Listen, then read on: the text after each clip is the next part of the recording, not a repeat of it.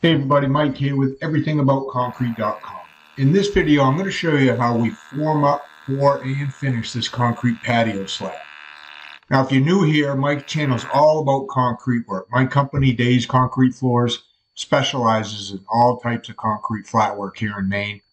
This is a pretty typical job site for us where we have a house floor, we got a garage floor, we got patios on it, and we we're hired to come in and do all the flat work on these jobs like this. So that's what my channel is about, showing you and teaching you how to do concrete work. So if you like that kind of stuff, please go ahead down there and subscribe. If you're a returning viewer, well, thanks for coming back. Now, what we're doing right now is this this house and garage and patio all had a frost wall put in. So the, around the patio here, we're just forming up using Tapcon screws with 2 by 8s uh, to get the height of the patio slab. We were told the top of slab wants to be down four inches from the house. So you can see a chalk line we snapped on the foundation down four inches. And then we're sloping the patio about an inch out here towards where we're putting these forms on. So it's going to have a little bit of a slope on it. It may or may not have a roof over it when the house is built. I don't really know. I don't get into that part of the details. We're usually on the job site at this point and that's it. I don't usually go back afterwards because you know this is this is about a 45 minute from my shop. Um, occasionally i'll get to go back if we don't do everything all at the same time but when we're hired to come in and do stuff like this we typically like to get all this concrete work done and out of the way before they start doing the framing. Now with the access to this particular pad wasn't very good. That when they backfilled around the foundation, they kind of used sand. So we we had already got one truck stuck when we did the house floor, so we didn't dare try to back another truck around. That's why we're using the conveyor truck here today on this one. There's also the what the plan called for was um, it called for wire mesh in this, but there's a nationwide shortage in, in wire mesh. We just can't get it. None of the supply stores around here have it, and they haven't had it for over a month. So we just compromised and we, we're using fiber mesh the concrete. And then we're going to put a double row rebar around that outside edge. And that's what the GC called for. The one, the guys that hired me are the ones that made that decision. I didn't. So I'm just here as a sub putting in the flat work. So that's what we're doing. We're just doing what we were told. But we can't get wire, and we still can. There's no, there's no, uh, nobody's telling us when we'll be able to get it. So the fiber mesh, we use fiber mesh in everything anyway. We never have any trouble with the fiber mesh. And we're going to put some, you know, we'll joint this to help control cracks. So there won't be any issues. We do it like this all the time. So that's me and Luke on the straight edge. We're getting this thing screeded. It's about, I think it was about, that's a 14 foot straight edge. So it was about a 14, 15 foot patio by 20, I think it was around 24. Just going to have a light broom finish on it when we're done.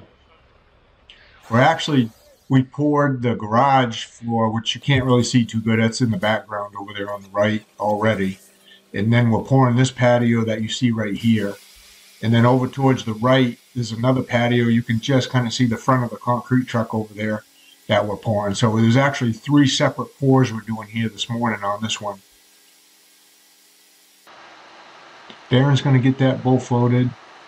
And then, so this is about, probably about, well, it was actually right after we got done pouring that front patio. The concrete was actually setting up pretty fast today. So maybe about 20, 30 minutes after we got done pouring this.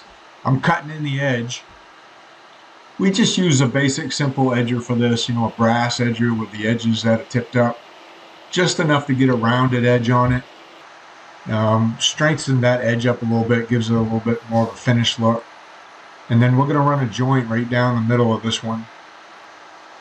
That's all. That's all the the people wanted for a joint. They didn't want this thing cut up a lot, so we're just going to get that one joint in it. And that should control any cracks in this thing. So I got it measured out. I just basically measure from one end. I don't know, it was around 13 feet. Put a mark with my finger. And then we use that uh, we use that joiner with a handle on it and the screed helps keep it nice and straight. And if you get it cut in early enough, that's really, really easy to, that's an easy way to cut joints in right there.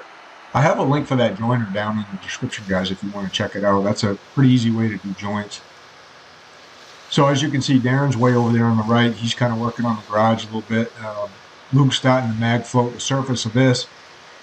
Now we have air entrainment in our concrete because in Maine we get a lot of freezing and thawing. Usually, usually towards uh, from th Thanksgiving until about the first of April. So there's like three and a half months roughly that we'll get a lot of freeze thaw cycles. So we have to have air entrainment in our concrete. And because we do on exterior concrete, we don't steel trowel our exterior concrete because if you steel trowel the surface, it tends to want to trap either some air or even moisture in there. Even after you broom it, it still it still could trap some in there, and that at least leads to scaling where we're from. So we always try to keep the surface as open as possible so we'll just mag float it like like Luke and I are doing right now. If we have to mag float it twice, we'll mag float it twice if uh, we think it needs it. This one here was setting up pretty good on us. It was pretty firm, so we're going to be able to get a really good room finish on this just by mag floating it this first this one time. It's it's a pretty tight mag float. And, uh, you know, we use a pretty fine broom, so it leaves it a really, really nice broom finish on it. You can see I'm over there with the broom. Darren's just touching up that corner. And I'm just going to pull it back nice and slow and straight. That's the key to the broom finishes, you know, slow and straight so they don't chatter, they don't have funny looking lines, and and they look really, really nice when you're done. He Luke's just kind of finishing up the using the funny float the funny float on something like this, it really saves you from getting on it with skids or knee boards. So that's that's a big bonus right there, having that with the handles along with that joiner.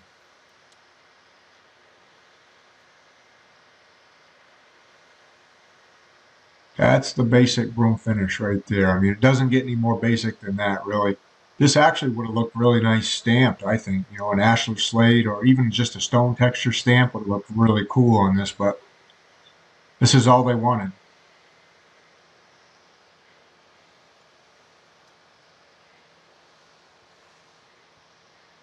We're pretty pretty fussy about how our brooms look, so we go nice and slow. We don't typically push and pull. I see a lot of guys out there, they'll push it and then they'll pull it back. And that's okay too. There's nothing wrong with that. Um, I just like to pull it. If, if that's all the concrete needs to get a nice fine broom finish, we'll just pull it nice and slow and it leaves those broom marks nice and fine.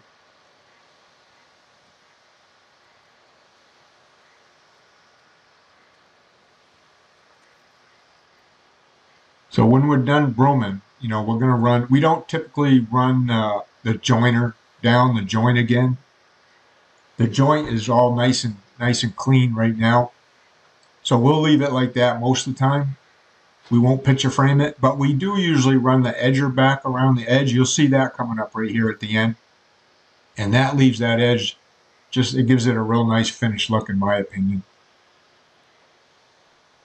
Now for you guys looking to get into the concrete business, if you want to learn how to do this, my private membership, the Concrete Underground, that's where I teach people how to do this. The link for that is down below. So, you know, check that out.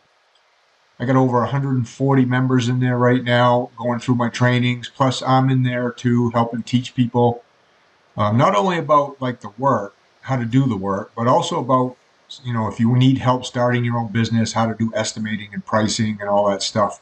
I've been doing it for 40 years, so if I can help you with that, that's all in the Concrete Underground, guys. You know, so make sure you check that out.